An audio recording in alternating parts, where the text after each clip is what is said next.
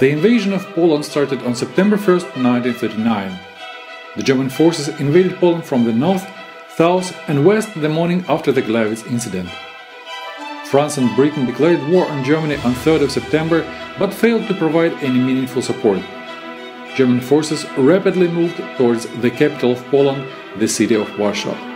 Needless to say that everything could go in a different way if Poland had some powerful warships at Baltic Sea. And looks like it's a perfect time to mention that World of Warships is a sponsor of this video and supporting history animations made with bricks.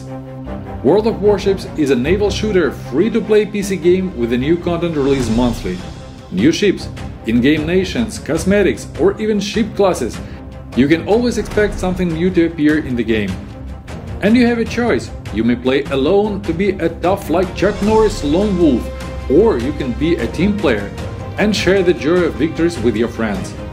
Top-notch new graphics, more than 40 unique maps with dynamic weather that comprise World of Warships have just been updated with stunning new water effects and textures that make the game's seas virtually indistinguishable from the real deal.